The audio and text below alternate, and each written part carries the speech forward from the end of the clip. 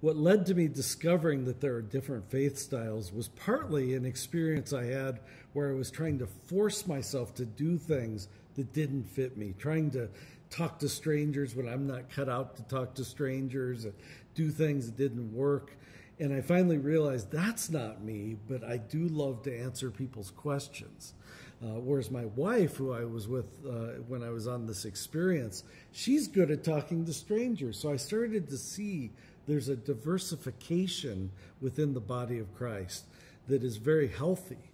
Then I went to a church service where the pastor talked about the fact that in the pages of Scripture, there's a variety of approaches. They didn't all share their faith the same way. So that kind of put wheels to what I was already sensing through my own experience.